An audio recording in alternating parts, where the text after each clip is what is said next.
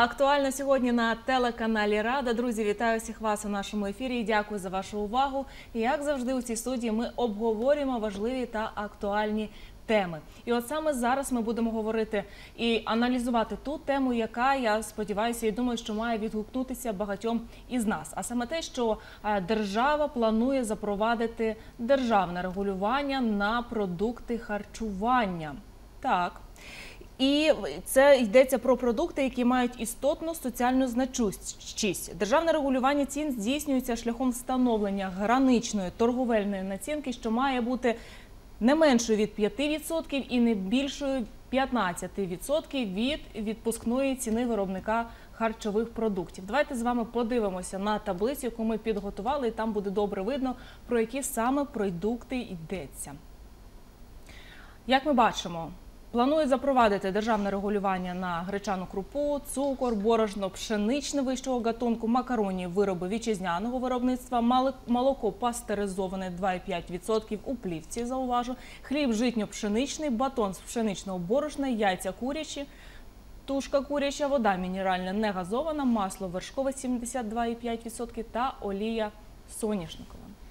Тож розбиратися у даному питанні ми будемо разом із економічним експертом Олексієм Дорошенко. Пане Олексію, вітаю вас. Добрий день, Леся. Хотів би додати до того, що не держава хоче е, це зробити, Верховна а окремі народні депутати. А крім того, не ввести, а поновити, тому що ця історія тягнеться вже з е, кінця 90-х років.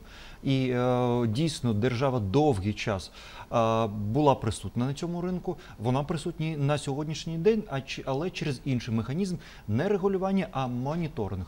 Тому дійсно з'явився законопроект щодо відновлення державного регулювання саме на ті продукти харчування, які і раніше входили якраз до тієї категорії соціально значущих. Але на жаль, я не вірю в те, що цього станеться. А, а якщо дійсно буде прийнято, то я не вірю в ефективний механізм контролю. Олексію, ви мені поясніть і нашим телеглядачам, добре це чи погано це, що вводиться, намагаються повернути державне регулювання. Задля чого це робиться, яким чином це впливатиме? Останнім часом ми бачимо, що дуже багато продуктів, як то олія сонячного, макарони, картопля, вони мають такі захмарні ціни, і на це впливає багато чинників. Це зокрема і ціни на Ну, якщо, наприклад, вам дам 100 гривень, то е, для вас це буде добре. Для тих, у кого ті 100 гривень заберуть, це буде погано. Тому е, у економічних відносинах все саме так і є. Можу сказати про те, що я е, завжди був прихильником державного регулювання цін на соціальні продукти харчування, і якраз довгий час відстояв, щоб воно все ж таки було присутнє. І якраз завдяки нашій роботі асоціації постачальників торгових мереж вдалося, якраз коли дійсно кабінет міністрів хотів його відмінити зробити так, щоб це тягнулося е, як мінімум півроку. Все ж таки державне регулювання було присутнє. Але... Півроку воно навіть якщо повернеться, то воно буде присутнє якийсь певний період, там не рік. 6, Можу сказати, місяців. що рік тому, вірніше, майже два роки тому, на початку пандемії, Міністерство економічного розвитку зробило інший механізм моніторинг цін на соціальні продукти харчування, куди входять ті ж самі продукти харчування, але за прикладом вже Франції. Воно з'ясувалося дуже ефективним. Можу сказати про те, що я б також не вірив в цю ефективність, якщо б мене як людину, яка постійно якраз переймалася державним регулюванням цін на соціальні продукти харчування, не долучили на самому початку до роботи якраз вузької групи, можу сказати про те, що моніторинг цін є також ефективним, тому що держава на сьогоднішній день моніторить, на жаль, дуже обмежене коло продуктів, але туди додалися ще медикаменти, фармацевтичні препарати. Паливо, багато іншого, і моніторить не тільки ціни, але ще обсяги, які є в Україні. Можу сказати про те, що з 2014 року держава взагалі забула про те, що вона повинна присутня бути на ринку і зрозуміти про те, що скільки ми вирощуємо, скільки ми продаємо за кордон, і скільки залишається. Зараз якраз це відновлено. Крім того, найбільші гравці ринку, а це є найбільші торговельні мережі продуктові, вони також дають дані щодо майбутнього зростання цін. Це означає про те, що десь за місяць, а іноді за півтора, іноді навіть за два, зрозуміло, по яких продуктах можуть бути проблеми. І вже на цій стадії якраз Міністерство економічного розвитку, аграрної політики повинно долучатися. І я бачу, що долучається якраз в перемовини з виробниками або імпортерами, або, наприклад, вже торговельними мережами щодо того, щоб все ж таки ціни не зростали, або ввести інші механізми. І тут не лише примус, це іноді допомога в тому, які проблеми є, і щоб навіть на деякий час на тиждень, на місяць ціни були стабільними. Тому цей механізм працює. Звісно, його мало хто бачить, але якщо ми з вами побачимо і введемо державний моніторинг, він стосується десятків тисяч підприємців. А, а чи може проконтролювати на сьогоднішній день держава десятки тисяч ФОПів, які стоять по ринках? Ні, не може. А для того, щоб контролювати, необхідно а, збільшувати а, апарат. е, д- який буде ходити кожну ранку і запитувати, яка у вас ціна. Ага, ви не можете такою ставити. Це буде означати, як іноді буває, наприклад, з агентством по поверненню активів витратили на них там 140 мільйонів, а повернули до бюджету 10 мільйонів. Олексій, ну, а навіть буде. якщо скажуть, ага, у вас дуже висока ціна, так не можна. Наразі є державне регулювання. Чи мають дослухатися? Як, як можна все таки змусити, чи змотивувати, аргументувати, що не можна Механізми є, їх багато, але їх можна а, дійсно ефективно застосувати лише тільки до середніх або великих гравців. Тому що вони ведуть свою діяльність більш-менш прозоро, тому до них це можна застосувати. Механізми дуже різні. Це не Тому один, не йде два. про такі е, ядки на стихійних ринках. Ні, чому на там. сьогоднішній день також мова про це йде, але але всі розуміють про те, що де-факто цього зробити неможливо. Але хто фактично робить погоду, наприклад, на ринку продуктів в Україні? Ну дійсно, якщо ми з вами говоримо про курячі яйця, скільки компаній їх виробляють? Ну по, по факту впливають десь. 5-8 компаній, але а насправді одна компанія є найбільшою, яка, якщо починає щось зробити з ціною, всі інші повинні якось на це реагувати. А по деяких ринках один гравець, два гравця, три гравця. Чи може держава вплинути, наприклад, через антимонопольний комітет? Може. Чи може вплинути, наприклад, якщо там є, як на ринку цукру, 4-5 гравців? Може. Можу розказати про те, що вперше минулого року, а вперше з 2010 року, якраз в минулому році, все ж таки е, було дозволено. Ввозити сахар сирець для переробки в Україні, але з'ясувалося, що якраз виробництв немає, які це можуть зробити. Тому держава зробила всі речі, які можна було. Десь ціни на цукор все ж таки зростали. Але ті речі, які дійсно я бачив, до якої планки вони могли зрости вже раніше, все ж таки це було, скажімо так, відстрочено. Тому держава дійсно повинна на сьогоднішній день значно краще працювати на цьому ринку, тому що я завжди говорив про те, що ввели моніторинг цін, наприклад, там на 20 продуктів харчування, потім розширили до 32. У Франції це декілька тисяч. Зараз вже можна вводити на 50, на 100 продуктів, які дійсно українець кожен день вживає. Це От, навіть внутрішнього е, виготовлення і Переважно внутрішньо. Тут мова, якщо ми говоримо соціальне, то це означає, що це продукти, які не імпортуються. Тому олівки або, наприклад, креветки а, ми тут з вами не побачимо, тому що до кожного столу вони не потрапляють. І тобто це е, мова йде про так званий продуктовий кошик.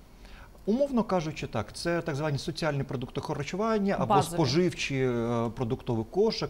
Такі речі ми дійсно, скажімо так, вводили, ми їх вживали. А зараз вони вже вийшли, оскільки так, таких речей вже фактично, скажімо так, немає. Ми, держава відійшла від цього. Але якщо ми з вами споглядаємо на Європу, в Європі все це є. Європа за цим слідкує. Якраз механізм, який започаткований в Україні, це моніторинг за е, цінами на продукти харчування і за цінами на товари. Він фактично дуже ефективний і необхідно цей експеримент, який був тоді, вже розширювати на значно більше групи. І держава це може зробити. Тому що, наприклад, коли ми з вами говоримо про ліки, а скільки взагалі імпортерів ліків в Україні?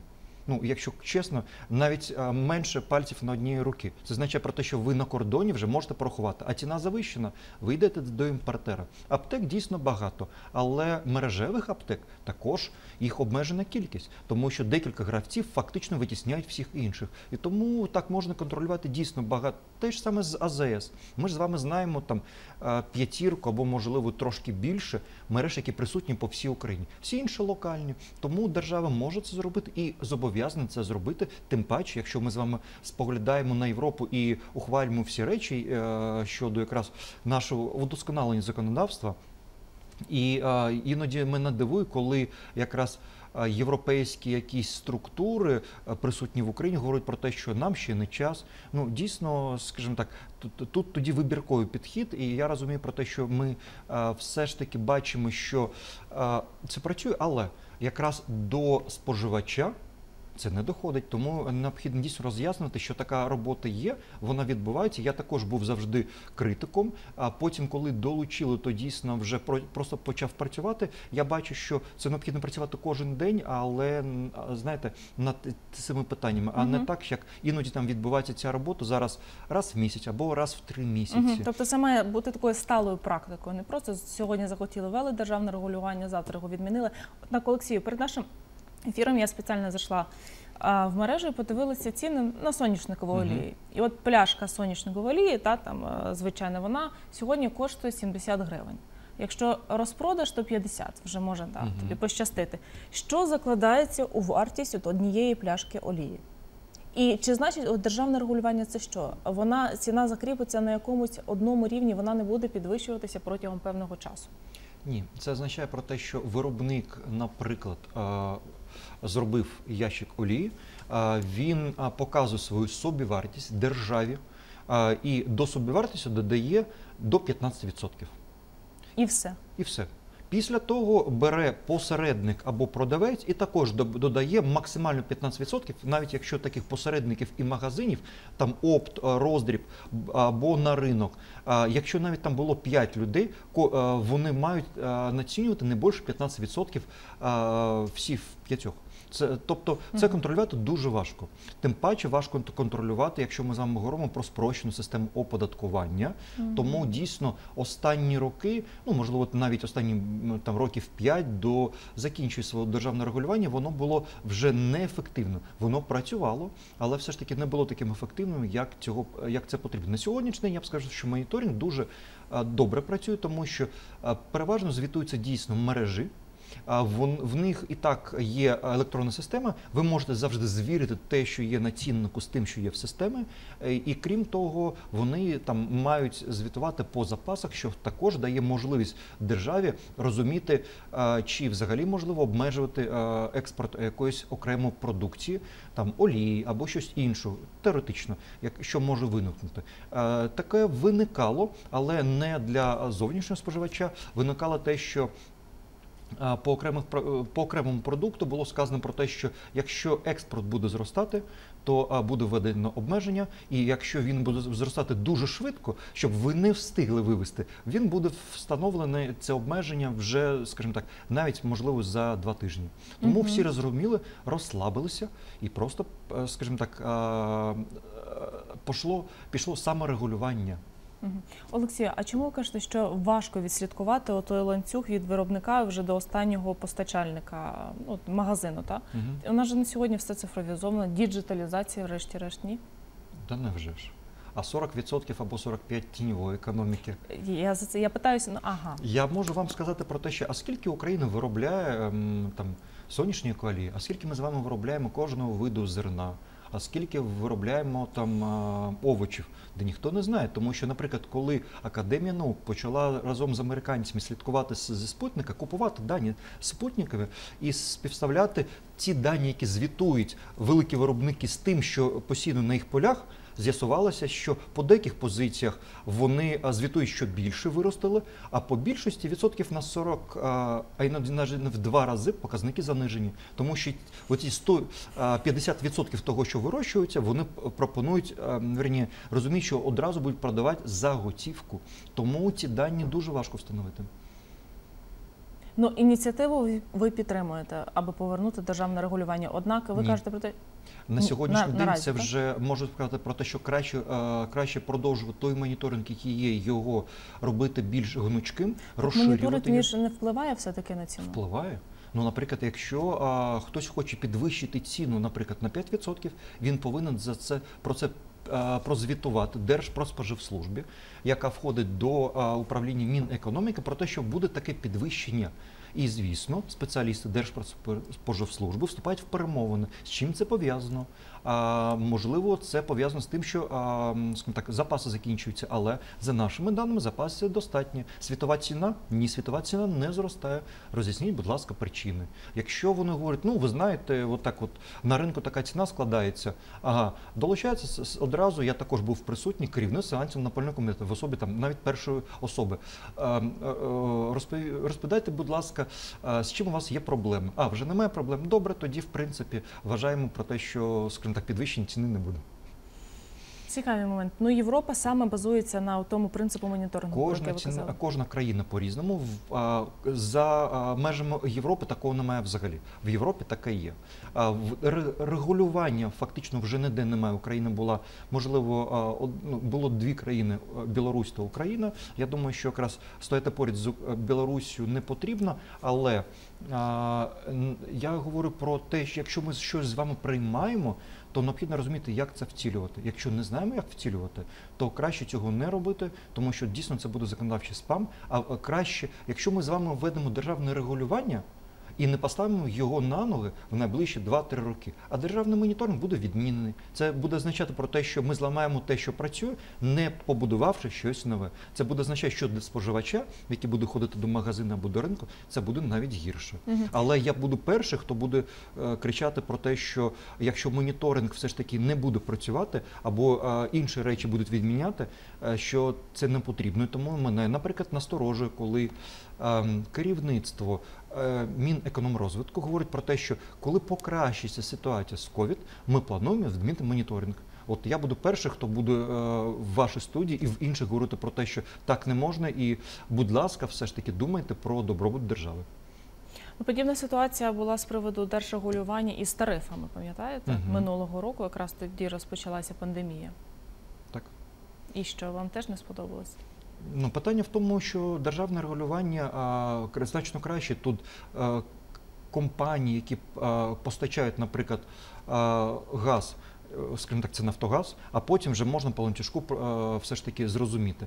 Е, Тобто державна компанія. Далі йдуть, хто виробляє електричну енергію. Та в принципі багато компаній, але якщо ми з вами говоримо про значних гравців, їх також небагато. Тут контроль вже з держ...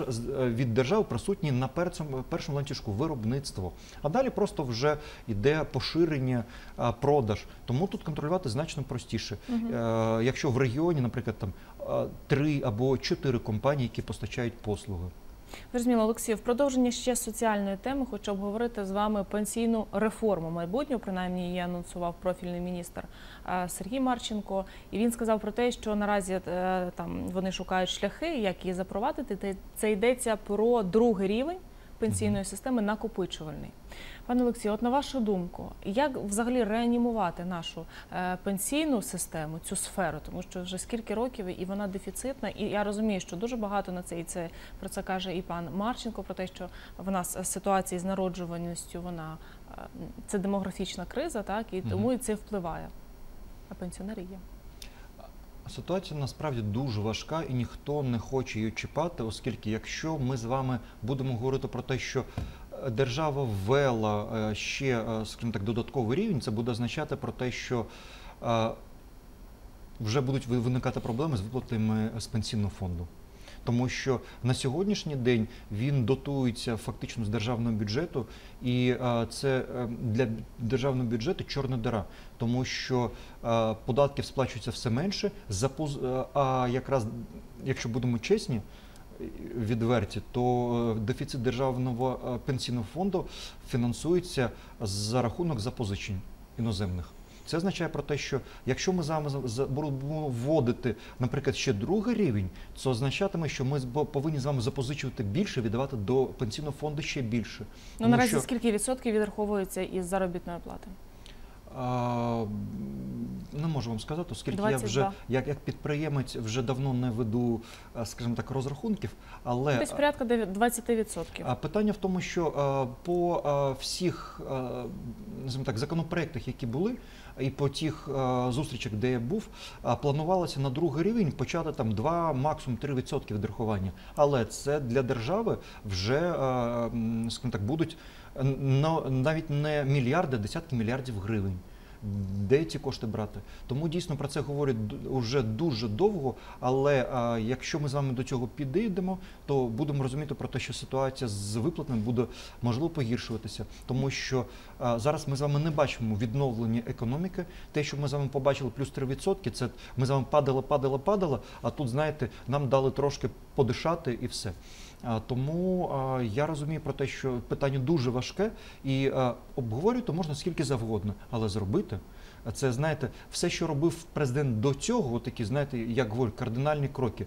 Це нічого е, не буде м, е, коштувати порівняно з тим, що буде відбуватися до пенсійного фонду. От, пане Олексію, наразі е, українці, які працюють мого віку, вашого, от як робити, коли ми все таки вийдемо на пенсію, чи це собі заощаджувати необхідно? Ми з вами у цій студії пам- пам'ятаєте, обговорювали тему е, приватних, так би мовити, пенсійних фондів, коли ти там сам собі відкладаєш вже на такий гідний Сам собі режисер, так, але питання в тому, що ми ж з вами знаємо, що якщо на сьогоднішній день навіть через дуже зарегульовану банківську систему можна вивести будь-які кошти, то це означатиме, що через пенсійний фонд їх також можна буде вивести. Тому ми будемо з вами вивести? за кордон. Угу.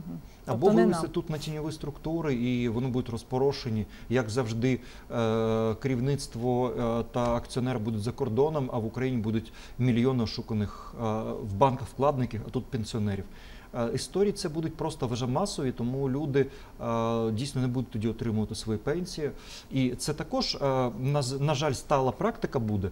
Тому всі це розуміють, що в нас не буде такого, що ми почали відрахування за 20 років, спокійно прийшов, запитав, де мої кошти, розписався і піш, взяв і пішов. Ні, такого не буде. І тому це буде, знаєте, ризик кожного дня рулетка. Угу. А давайте з цього приводу послухаємо ще цитату міністерки соціальної політики пані Марини Лазебної. От вона виказала там своє бачення е, у реформуванні відповідної сфери.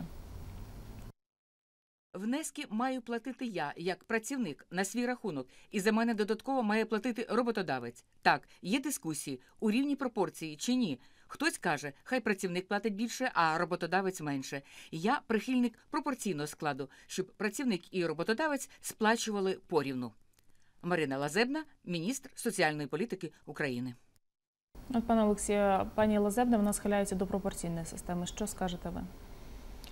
Для багатьох насправді це не дуже важливе питання, тому що якщо людина отримує на руки е, якусь суму коштів, то в принципі е, людина е, не, не дуже часто задумається, яким чином йшли відрахування від роботодавця або від неї, тому що на руки одна сума. Дійсно, це буде все ж таки впливати на систему.